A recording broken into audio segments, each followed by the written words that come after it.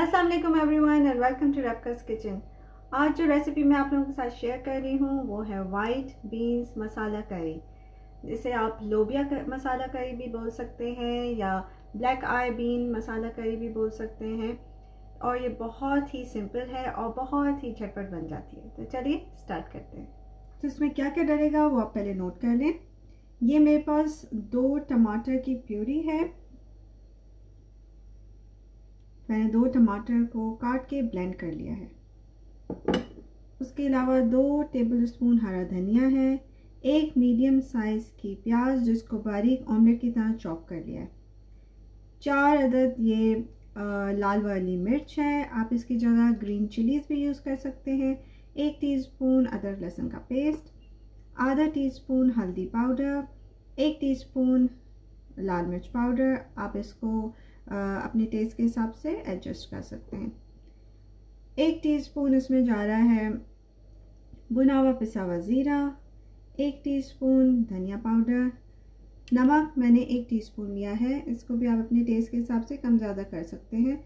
और ये गरम मसाला पाउडर क्वार्टर टी स्पून उसके अलावा ये लोबिया मेरे पास है। ये वन एंड हाफ़ कप लोबिया था, इसको मैंने भिगो के रखा था।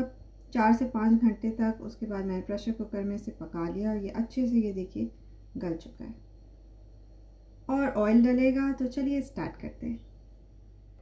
एक पैन लिया है मैंने और चूल्हा मैंने ऑन कर लिया है मीडियम फ्लेम पे। इसमें ऑयल जा रहा है तीन से चार टेबल स्पून जितना।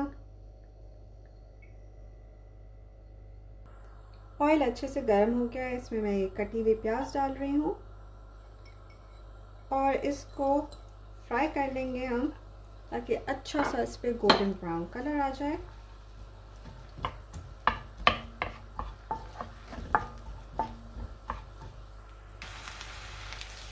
प्याज गोल्डन ब्राउन होना शुरू हो गई है।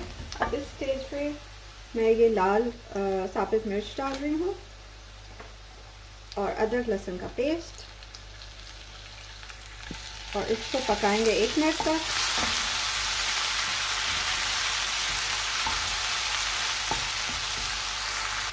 एक मिनट हो गया है। अब मैं इसमें टमाटो पेस्ट या टमाटो प्यूरी डाल रही हूँ। अच्छे से मिक्स करेंगे।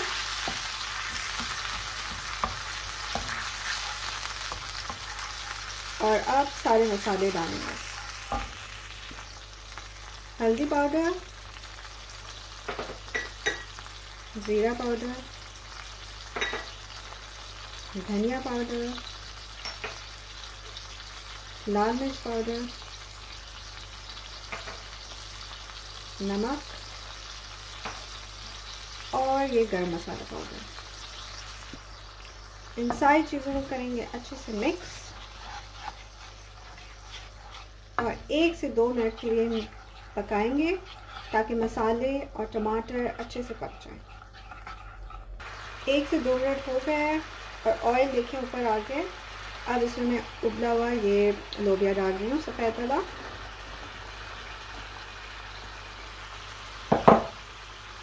इसको मैं करूँगी मिक्स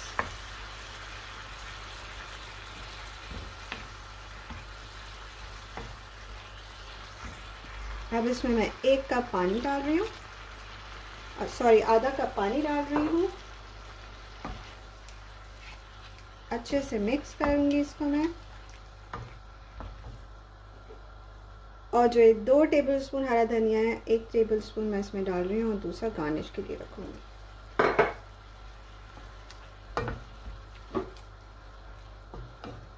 इसको मिक्स करके और कवर करके इसे पकाएँगे मीडियम फ्लेम पे तकरीबन पाँच से छः मिनट तक, ताकि ग्रेवी हमारी बहुत ही ज़बरदस्त किस्म की गाढ़ी हो जाए। तो मिलते हैं पाँच से छः मिनट बाद। पाँच से छः मिनट हो गए हैं, हम अपने लोबिया को चेक करते हैं। ज़बरदस्त सी खुशबू आ रही है और ये देखिए, कितनी थिक ये ग्रेवी हो गई है। हल्का हल्का सा हम इसको मसलेंगे। उससे बड़ा ही अच्छा टेक्सचर आता है ग्रेवी में। दैट्स इट और मैं चूल्हा कर रही हूँ बंद और इसे डिश आउट करूँगी। तो white bean white beans masala curry ready है। अब इसको मैं गार्निश कर रही हूँ हरे धनिया से।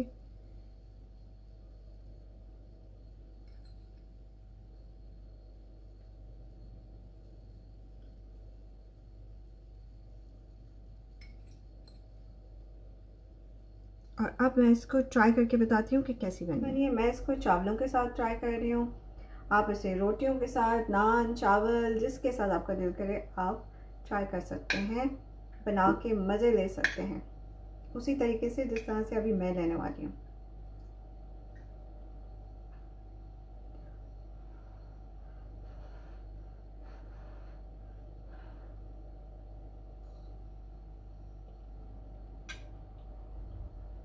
हम्म।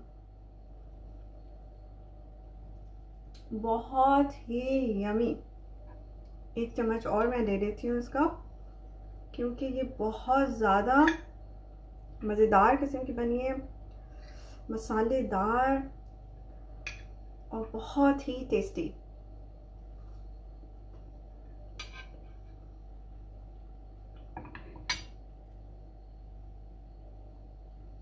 बहुत ज़्यादा मज़ेदार। इसको आप बनाइए, खाइए। और बल्कि आज ही के आज बनाइए।